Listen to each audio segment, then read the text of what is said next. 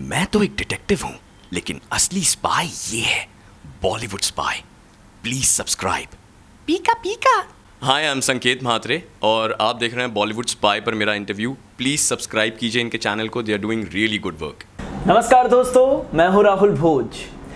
जहाँ पर मैं अक्सर आपको एक बात बोलता हूँ कि बॉलीवुड स्पाई आप लोगों का चैनल है, आपके लिए चैनल है। तो भाई, वहाँ पर इस बात को मैं पूरा भी करता हूँ। आप लोग कमेंट सेक्शन में एवेंजर्स के जितने भी मैंने वॉइस ओवर आर्टिस्ट का इंटरव्यू लिया, यही लिख रहे थे एक बात कि संकेत महात्रे सर को बुलाओ, संकेत महात्रे को बुलाओ। ब्रो संकेत महात्रे, राहुल भोज, संकेत महात्रे तो फाइनली बॉलीवुड स्पाई के स्टूडियो में पधार चुके हैं Sanket Mhatre. Thank you so much it's an honour it's an honour आपको यहाँ पर देख के और प्लस पब्लिक डिमांड इतनी है आपकी ज़्यादा। क्या कहेंगे आप? मैं बहुत खुश हूँ। I mean fans have always supported me बहुत अप्रिशिएट करते हैं काम को और उन्हीं की वजह से इंकरेजमेंट मिलती है कि और बेटर से बेटर काम करते जाऊँ। जी। um, ये बहुत हाल ही में this is become like a huge advantage to artist जिन्हें पता चल जाता है इमीजिएटली फीडबैक मिलता है uh, कि कौन सा काम पसंद आ रहा है कौन सा काम पसंद नहीं आ रहा है क्या अच्छा लग रहा है। uh, जिससे हम भी इमीजिएटली अगले प्रोजेक्ट से ही वो फीडबैक लेकर यू नो एक अलग डायरेक्शन में काम करना शुरू कर सकते हैं। एंड इट्स वंडरफुल ऑलवेज किसे पसंद नहीं आएगा। This kind of support correct Sanket भाई देखिए हमारा ये रिवाज है और ये रिवाज आपको पूरा करना पड़ेगा। हम जो भी वॉइस ओवर आर्टिस्ट थे उनसे पहले डायलॉग बुलवाते हैं उनके फेवरेट कैरेक्टर का। तो आप शुरुआत कीजिए। मैं पहले लेकिन मैं तो डेडपुल का फ़ैन हूँ तो पहले मैं डेडपुल से शुरू करूँगा। डेडपूल Um, का ऐसा है कि मेजॉरिटी जो लाइनें थी वो काफ़ी सारी उसकी पंच लाइन्स वगैरह हमने इम्प्रोवाइज़ की थी क्योंकि उसे हमें बहुत स्ट्रीट स्लैंग टाइप का बनाना था। तो एक बहुत उसका फ़ेमस डायलॉग ये बन गया कि माउशी जी अब ये कौन है? विच वॉज़ एक्चुअली जग्गू दादा की लाइन है। हमने उधार ले ली फ़िल्म के लिए और बहुत चली। और उसके अलावा another favourite character is Ben Ten जो एक अ, जब मैंने शुरुआत की थी उसकी तो विलन के ऑडिशन के लिए गया था और उन्होंने कहा बेन की वॉइस ट्राई कर लीजिए। जी। और वो सिलेक्ट हो गई। तो बेन की आवाज़ बहुत यंग टीनेजर एक्साइटेड हाय मेरा नाम बेन है। Ben Tennyson it's hero time तो अलग रेंज में है। संकेत भाई आप मानेंगे नहीं कि एवेंजर्स के इतने इंटरव्यूज़ आप देखेंगे हमारे चैनल में. तो उसमें यही था कि संकेत महात्रे को बुलाओ संकेत महात्रे को बुलाओ। मैंने अपने एडिटर से डिस्कस किया तो उन्होंने कहा कि उनका तो सिर्फ़ आ करके ऐसा क्या क्या वो बहुत फनी बात है। सो इंटरेस्टिंगली अवेंजर्स में uh, मैंने ऑफिशियली स्पीकिंग दो रोल्स किए हैं। एक था थॉर के दोस्त का रोल जो मैंने फ़र्स्ट थॉर फ़िल्म से किया था। um, जो अनफॉर्चुनेटली थॉर रैग्नारॉक में uh, मर जाता है। मर जाता है। तो थॉर रैग्नारॉक में हेला उसे मार देती है। और मुझे कॉल आया था कि सर आपकी लाइन डब करनी है। तो लाइक लाइन मतलब लाइंस होंगी ना? तो नहीं नहीं सर एक ही लाइन है आपकी। तो मैंने बोला क्या लाइन है? तो ये आ क्योंकि वो फ़र्स्ट सीन में चाकू लग के मर जाता है। तो लाइक उसी फ़िल्म में आई थिंक मैट डीमन ने एक स्पेशल अपीयरेंस किया था। तो दे लाइक प्लीज़ सर उसका भी आपसे करवाएँगे क्योंकि एक लाइन आके आपको बोलने में हम हम नहीं बुलाना चाहते हैं। सो आई डिड दैट और uh, उसके बाद अभी recently when end game came ji. Uh, अभी भी I am going to try and avoid spoilers मैं बताऊँगा कि एंड uh, गेम में हॉकाई का जो कैरेक्टर था जो अब तक जैसे चला आ रहा था वो एंड गेम तक आते आते एक अलग सा मोड ले लेता है। वो एक Ronin. से डार्क जोन में रोनिन जिसे कहते हैं एक डार्क जोन में चला जाता है। और तब the the main guys at the studio and the directors everybody took a call कि uh, एक अलग वॉइस ट्राई करनी होगी इसके लिए क्योंकि इसकी शेड चेंज हो चुकी है। जी। और तब उन्होंने मुझे अप्रोच किया and I tried it out और बहुत ही अमेजिंग कॉन्सेप्ट था। मज़ा आया क्योंकि ऐसी फ़िल्म में एक रोल करना जिसमें इतने सारे लेजेंड्स काम कर रहे हैं। आई एम श्योर आप इंटरव्यू ले रहे हैं तो यू नो एवरीबडी नोज़ कि किन किन आर्टिस्टों ने काम किया है इसमें। उनके बीच एक यू नो कैरेक्टर की आवाज़ देना was a great feeling I mean बीच में देयर वाज अ फियास्को जहाँ पे मैंने कैप्टन अमेरिका एक फ़िल्म के लिए ट्राई आउट किया था but that was already told कि they were going to try out a celebrity तो वो थोड़ा सा that's I think where lot of social media hype also. Took off but Hawkeye was a wonderful experience बहुत मज़ा आया। मज़ा आ गया। फाइनली फ़िल्म देख ली। हाँ। कल ही इनफैक्ट हमारे लिए so Disney and Marvel kept special screening हम आर्टिस्ट के लिए। और सारे आर्टिस्ट वहीं मिल गए सब कह रहे थे बॉलीवुड स्पाई में इंटरव्यू दिया है तो मैंने कहा मैं कल ही जा रहा हूँ इंटरव्यू देने के लिए। और सबसे बात करके मज़ा आया सब बहुत खुश थे अपनी अपनी परफॉर्मेंसेज दूसरों की परफॉर्मेंसेज देखकर। और मुझे लग रहा है कि ऑडियंस भी बहुत अप्रिशिएट कर रही है the Hindi dub version is doing well doing well correct okay Sanket भाई हमने मतलब सुना और आपकी जो जर्नी रही है Right. मतलब बहुत कम उम्र में इस लेवल का काम। हम्म। और यहाँ तक पहुँचे आप। और आपका तो कोई फ़ील्ड भी नहीं है मतलब इंडस्ट्री में. कुछ ना आपके गॉडफादर है ना समथिंग है। तो ये जर्नी कैसी रही थी? कैसे हुई शुरुआत? दर्शकों को बताएँ क्योंकि विक्की में बहुत कम है मुझे बहुत पसीना बहाना पड़ा। सो एक्चुअली इलेक्ट्रॉनिक्स इंजीनियरिंग करनी पड़ी। Uh, करनी पड़ी कहूँगा क्योंकि घर से हमेशा ये था कि एक बैकअप होना चाहिए। Uh, पहले से ही थिएटर वगैरह में इंटरेस्टेड था थिएटर काफ़ी करता था कॉलेज वगैरह में। तो इंजीनियरिंग करने के बाद भी मैंने सोचा कि मतलब सपने आते थे कि कोई बोल रहा है यार ये माइक्रोवेव रिपेयर कर दो या ये ट्यूबलाइट रिपेयर कर दो। मैं ऐसे उड़ जाता था मुझे नहीं आता कुछ नहीं आता।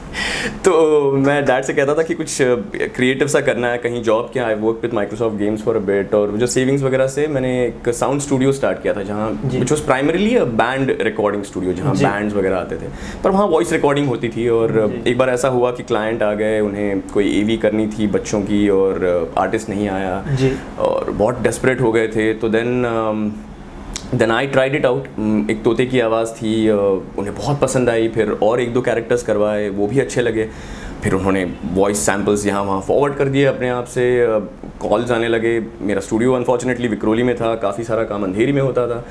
छः महीने एक साल के ड्यूरेशन में I had to shut down the studio क्योंकि यहाँ से इतने सारे कॉल्स आने लगे आई थिंक प्राइमरली जो जिस बात की मुझे मदद मिली क्योंकि तब इतने इंस्टीट्यूट्स वगैरह मुझे पता नहीं थे जैसा कि आपने कहा मेरी कोई पहचान भी नहीं थी इंडस्ट्री में it was quite by accident पर एक्टिंग वॉइसेस ये पहले से ही बहुत पसंद था। तो वो आई थिंक जो पैशन था थिएटर वगैरह का वो वो हेल्प कर गया पुश करने में मुझे वो डिसिप्लिन हेल्प कर गई लैंग्वेज की इम्पोर्टेंस या अ, बात करने का रवैया वॉल्यूम पे कंट्रोल ये सारी चीज़ें हेल्प कर गई।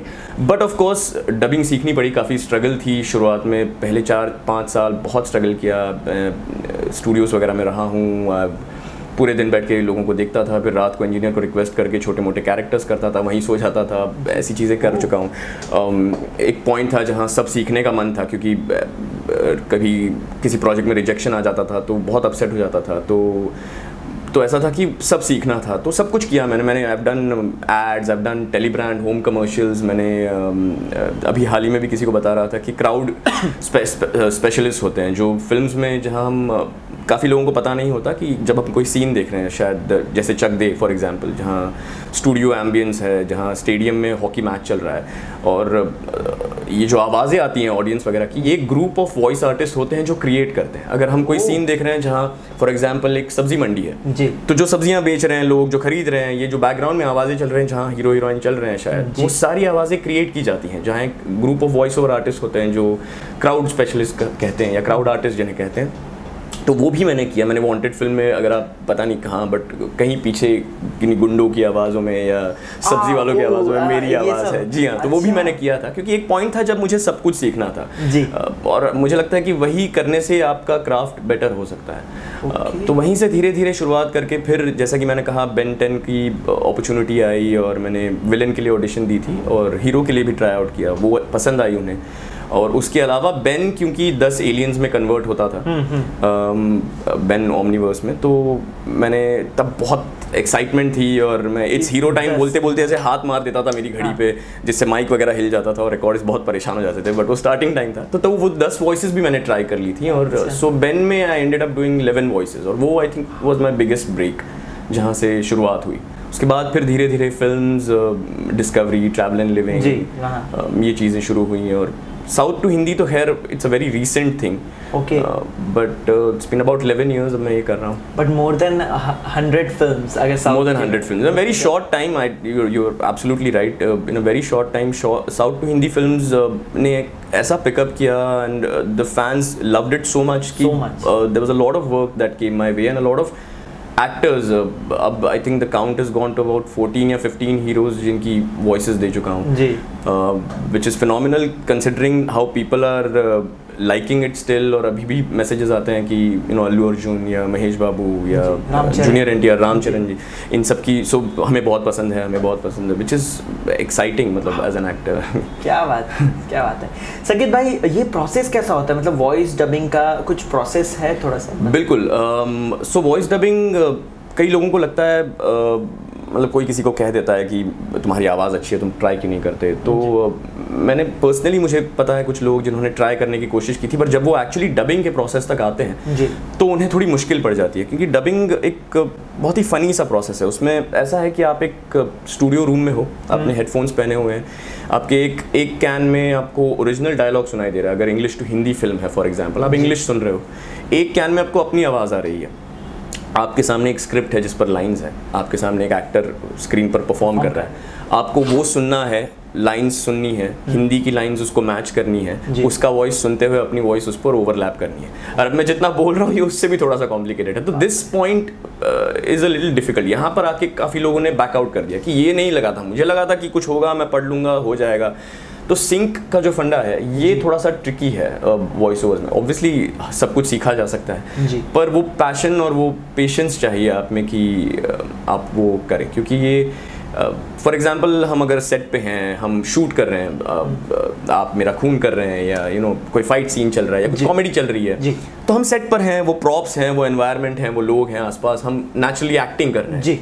स्टूडियो में एक अंधेरा कमरा है। कोई बंदा पीछे से बोल रहा है सर माइक माइक क्रॉस हो रहा है सर अभी सीधे खड़े रहिए सर ये हो रहा है ब्लो आ रहा है थोड़ा सा। उसमें आपको वो एनवायरनमेंट क्रिएट करना वो इंटेंसिटी लाना कि जैसे जैसे राजेश जी का इमोशनल सीन था इन एवेंजर्स एंड गेम या कैप्टन अमेरिका के इतने सारे इमोशनल सीन्स तो वो वहीं पे खड़े रह के एक अंधेरे कमरे में माइक पे डिलीवर करना जो उन्होंने वहाँ ऑन सेट किया है।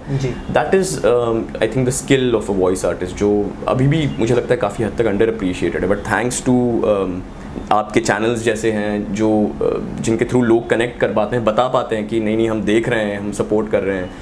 It's bringing about a huge change मुझे लगता है अब Indian voice industry is at par with international standards because we are making that kind of business also in terms of all the projects that are coming in and companies are looking at it seriously बहुत uh, अलग नज़रिए से देखा जाता है अब Indian voicing industry को। Netflix वगैरह अपने शोज़ ला रहा है जो हिंदी में अवेलेबल है जो। कई लोगों को पता नहीं है। जैसे नार्कोस वगैरह जैसे शोज़ हैं जो मैंने किया है जो हिंदी में भी अवेलेबल है। और बहुत बेहतरीन क्वालिटी से डब किया गया है। That happened at Sound and Vision Studios और बहुत अच्छी तरह से प्रोजेक्ट्स किए जा रहे हैं। तो I think it's about time now that you know we consider our self to be at par with voicing industries internationally Sanket भाई चैलेंजेस कहीं ना कहीं आपने मुझे बताया कि अ, कि अंधेरा कमरा होता है सिचुएशन में correct. उसके अलावा और क्या चैलेंज होता है मतलब क्योंकि एज एन एक्टर की अगर मैं बात करूँ तो एक्टर्स कहते हैं कि हमें जैसे अ, मतलब मान लीजिए धूप का कोई है तो वो Right. वहाँ पे खड़े होके कंटिन्यूसली फोकस करना Correct, और ये करना correct. तो इट्स वेरी हार्श कभी कभार वेदर भी आता है Right. आपके उसमें क्या क्या और चैलेंज Um, मैं आपसे कहूँगा कि चैलेंजेस है ना बहुत रोल स्पेसिफिक होते हैं। अभी डेडपूल में जो मुझे चैलेंजेस आए वो मार्शन के चैलेंजेस से बिल्कुल अलग थे। फॉर एग्जांपल डेडपूल का character Ryan Reynolds in person एक बहुत ही फनी पर्सन है बहुत विटी है। बहुत सारी लाइनें इम्प्रोवाइज कर जाते हैं। जी। अब हिंदी में जब उसे अडाप्ट कर रहे थे तो हम भी कई जोक्स ट्राई कर रहे थे उसे लोकलाइज करने के लिए इंडियनाइज करने के लिए। जी। और ऐसा होता था कि उस बंदे ने बोला इतना है। कि हर एक जोक के लिए हमें दो तीन ऑप्शन के जोक्स तैयार करने पड़ते थे। अगर वो जोक फ़िल्म में कहीं रिपीट हो रहा है तो वो सारे ऑप्शन लेने पड़ते थे। Literally like dubbing three film okay एक साथ। Okay. क्योंकि कौन सा जोक वर्क करेगा फिर वो तीनों कट्स हम सुनाते थे लोगों को वो यू नो जो studio used to kind of exactly फिर वो रखना Okay. वो वो हमारा कॉन्सेप्ट था। So that was that challenge Martian में एक अलग चैलेंज ये था कि मार्शियन में वो बंदा मार्स पे अटका हुआ है। फंसा हुआ है। फंसा हुआ है आलू खा रहा है और जी रहा है। तो धीरे धीरे वो वीक होता जा रहा है। करेक्ट तो उसकी वॉइस में वो वीकनेस का ग्राफ लाना जहाँ पे वो एकदम एक लोएस्ट पॉइंट पे पहुँच जाता है एक बहुत एनर्जेटिक पॉइंट से। That was that was a different challenge अब अब अवेंजर्स की बात कर रहे हैं हम तो जो पहले ही मुझे ब्रीफ दी गई थी और जिसका ब्रीफ के अलावा भी जब फ़िल्म जैसे आप देखेंगे तो आपको पता चलेगा कि उसके साथ कुछ चीज़ें होती हैं कुछ हादसे होते हैं जिससे वो बंदा एक बहुत ही डार्क पाथ पर चलने लगता है। तो वो ग्राफ लाना अगेन जो जो। हादसों से पहले की उसकी आवाज़ है और उसके बाद जो एक बदलाव आता है एक ठहराव आता है उसकी आवाज़ में एक समझ आ जाती है एक गुस्सा अंडरले है उसका। तो वो लाना that so that was the challenge for that okay तो हर प्रोजेक्ट का आई थिंक अपना एक चैलेंज होता है हर एक आर्टिस्ट के लिए।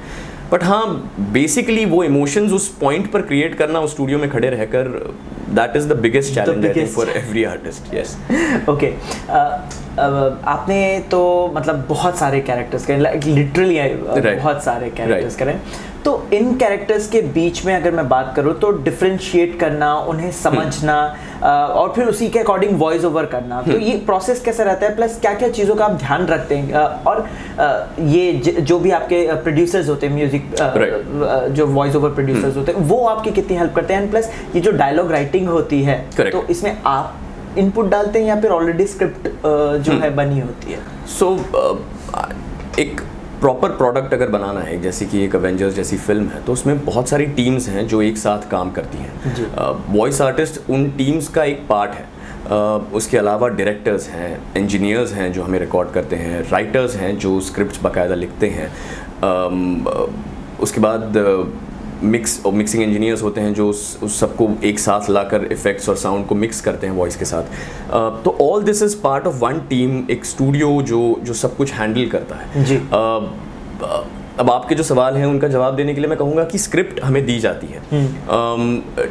Depending on project to project उसमें इम्प्रोवाइजेशन कितना करना है Okay. वो आर्टिस्ट uh, और डायरेक्टर का कॉल बन जाता है मतलब But, आप भी उसमें शामिल uh, होना ही पड़ता है बिकॉज़ uh, जैसे फॉर एग्ज़ाम्पल डेडपूल की अगर हम बात करें तो उसकी अ, उसकी script was written very well according to to from a writer standpoint या एक स्टैंडर्ड स्क्रिप्ट जैसी होती है इट वेरी वेल रिटन लेकिन उसमें इम्प्रोवाइजेशन बहुत सारा करना पड़ा क्योंकि उसका उसकी रिक्वायरमेंट अलग थी। ओके। okay. उस फ़िल्म की रिक्वायरमेंट काफ़ी अलग थी तो उसके जोक्स वगैरह अगर आप देखेंगे जैसे जैसे माउशी फॉर एग्ज़ाम्पल ये करते करते हमने एक दूसरे के साथ डिस्कस करते करते आया कि अच्छा ये ट्राई करते हैं। And it was very funny जब हमने ट्राई किए we try the jokes out हम मैं बोल के देखता हूँ और फिर इमीजिएटली लाफ्टर अगर आता है तो हमें पता है कि you know this is what is happening पर uh, तो इम्प्रोवाइजेशन तो ऑब्वियसली ज़रूरी होती है। कई बार ऐसा होता है कि uh, uh, बहुत सारी सुपर हीरो फ़िल्म हैं फॉर एग्ज़ाम्पल उनका एक कॉमिक बुक ओरिजिन है या उनकी एक अलग बैक स्टोरी होती है।